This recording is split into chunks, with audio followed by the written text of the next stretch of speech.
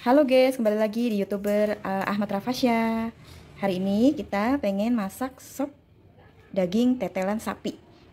Bumbunya, bahan-bahannya ya. Ada wortel, kentang, daging, buncis, daun bawang. Yang terpenting bumbunya ada bawang putih, kita iris-iris, kita cincang Bawang merah, daun jeruk, masako, lada bubuk pakai bubuk biji pala dan bubuk kayu manis sedikit. Sambil menunggu air mendidih kita tunggu sebentar. Wortel dan kentang buncis daun bawang seledri bawang putih kita cincang halus daun bawang bawang merah daun jeruk dan daging kita cincang-cincang seger banget kan? Nah ditambah nanti bubuk halus merica bubuk biji pala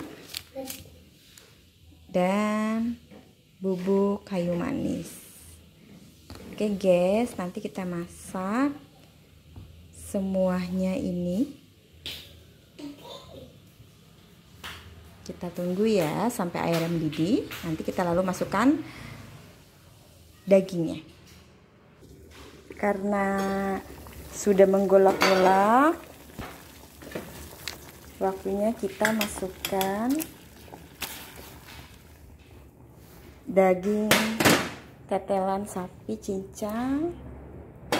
Kita diamkan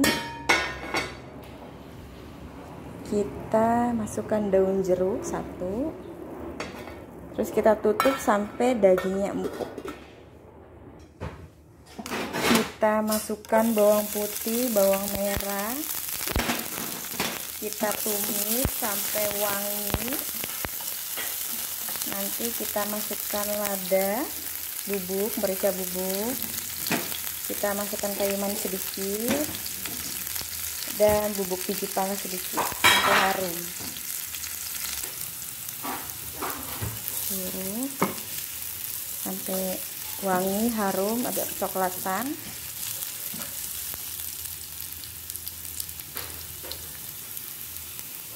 Kita masukkan biji pala biar agak sedikit wangi-wangi gitu. Kita tutup lagi.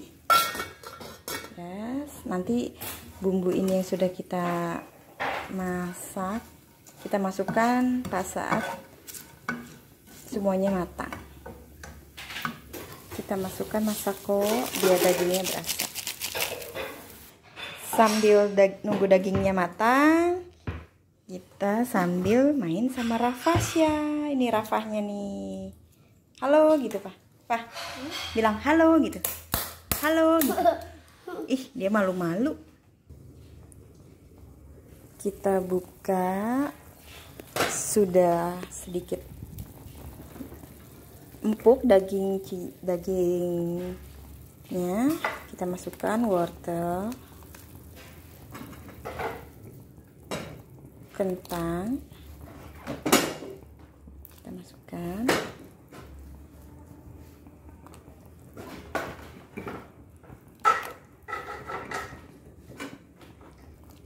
kita tutup lagi kita diamkan sampai empuk.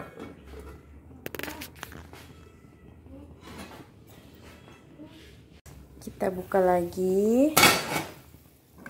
Lalu kita masukkan bumbu yang tadi kita tumis.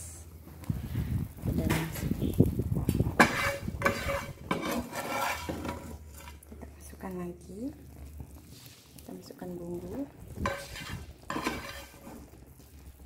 masukkan lagi bumbunya ini tadi kita tambahkan daun bawang bombay ya. Tadi ketinggalan. Oke. Setelah bumbunya kita masukkan kita tunggu wortelnya sampai empuk. Kita diamkan dulu sampai satu menit.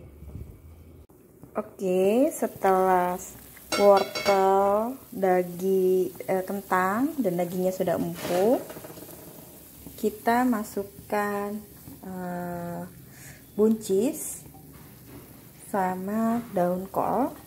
Terakhir kita masukkan daun bawang seledri. Kita cemplungkan.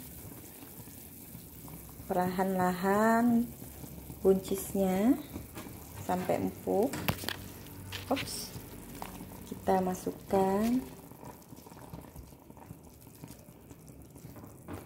buncis dan kolnya.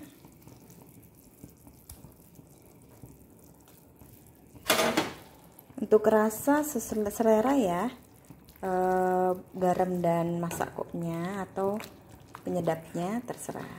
Oke. Lalu kita masukkan daun daun bawang seledrinya. Ini biar enak tambah sedap. Oke kita masukkan semua kita aduk-aduk kita diamkan sampai matang ini penampakannya Dag, eh, sayur sop bening daging tetelan sapi ala Mama Rafa. Jangan lupa di subscribe-nya. Terima kasih. Oke, sudah matang sopnya. Pakai tempe goreng. Inilah menu Rafa Ahmad Rafasya. Menunya makan sop daging tetelan sapi dan tempe goreng.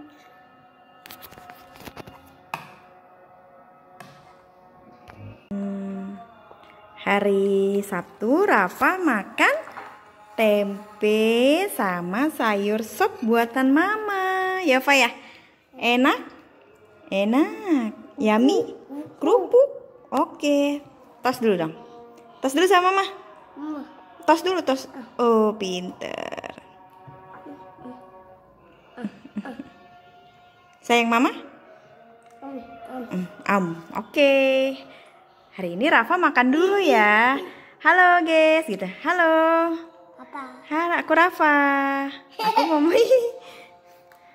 ini Rafa hari ini mau makan sayur sop buatan mama.